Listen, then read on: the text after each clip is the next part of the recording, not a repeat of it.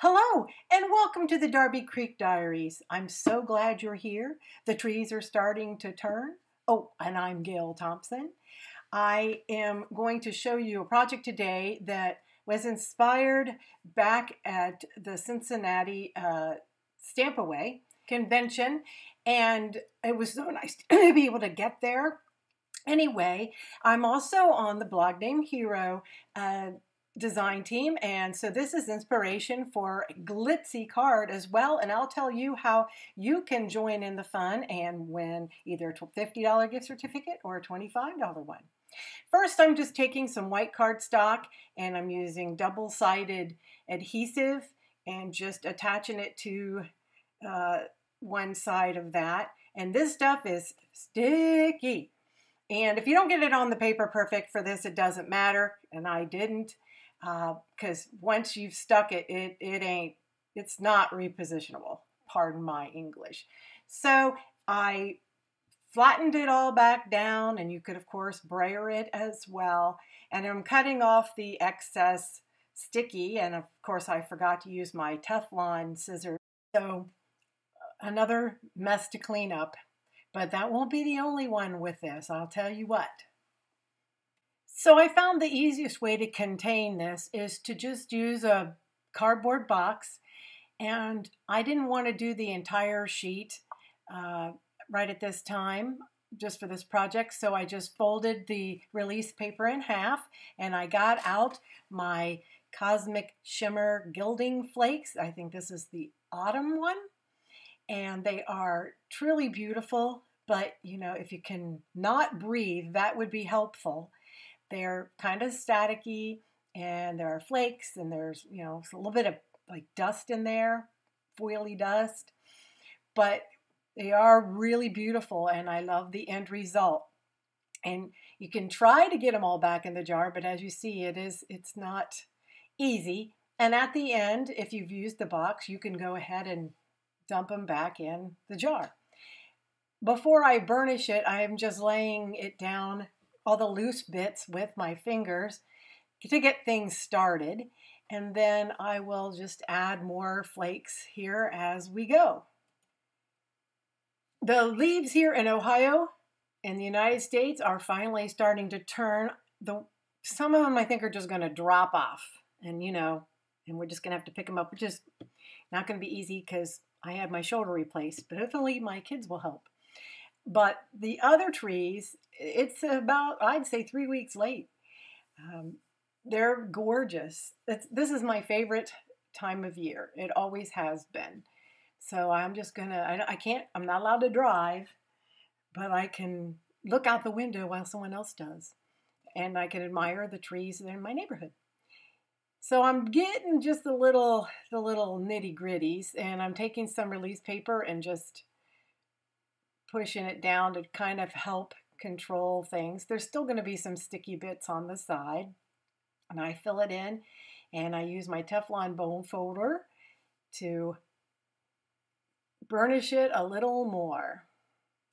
Tap off the excess and there's always still, I think, you know, going to be a little excess until you really burnish the final thing. When I run it through the uh, Gemini die cutter, that pretty much, that burnishes. If anything's going to burnish it, that's going to burnish it. And I used uh, just a foam uh, from my uh, blending tool to kind of get some of that off. And I'm just going to trim off the gilding flakes part. And, and that release paper, fortunately, is only dirty on the side that's been used. The other is perfectly clean and ready for another project. So there is our card front and I'm using the Autumn Leaves Fancy Dies by Hero Arts. I'm just going to die cut everything because I really don't know where I'm going with this yet, which isn't unusual for me. I'm going to pack on as many things as I can. I'm going to run it through multiple times and I even save the last little bit and I'm I'll just chop it up for extra little you know, branches or whatever is needed in another project. I gathered them all up and stuck them in a little plastic bag, but I try not to waste anything.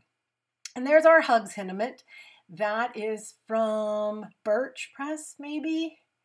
Um, I will look for you though. I'm just placing this down on a uh, black piece of cardstock. Um, normally, I would position things and move them around and all of that. Uh, that's one of the little scraps that I'm using for that stem, for that side sunflower. Uh, I have to laugh because I do hold things over the cards and moving around stuff. And Tim Holtz calls them hovercrafters. And that's pretty cute because I do that most of the time. But I kind of sort of had planned this once I uh, saw what pieces I was going to use.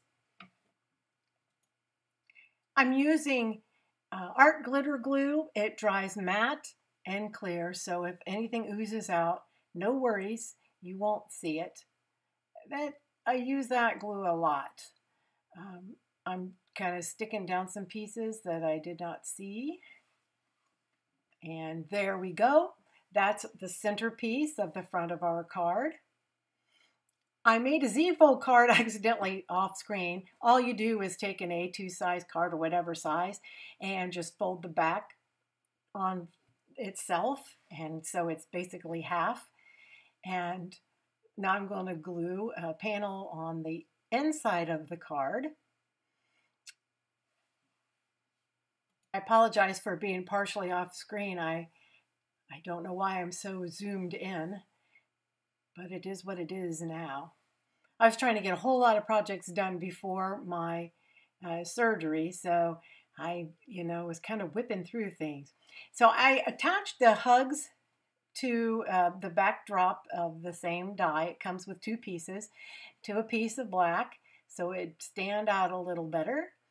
And I'm using my T ruler to make sure that it's even because you, one word like that would be pretty bad if it was lopsided.